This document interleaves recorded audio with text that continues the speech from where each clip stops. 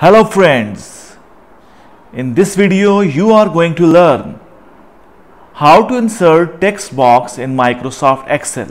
We will also learn how to format it in very brief manner.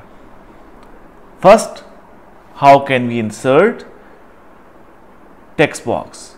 First, click on insert,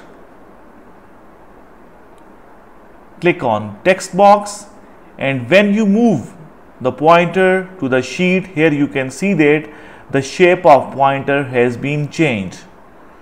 When this shape changes you can draw your text box. Now I write something.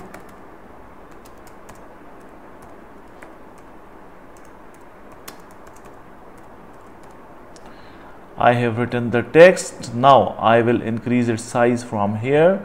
First I will select the whole text then I will change its fonts. I will increase its size. I will also make it center. Now I will also fill a color. I will also change the color of text from black to white. I can also rotate it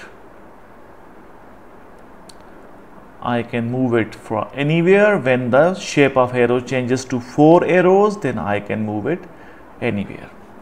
So this is how you can insert a text box and format it briefly in Microsoft Excel. If this video helps you in any way, please subscribe my channel and hit the like button. Thanks for watching. Thanks for your time. Goodbye.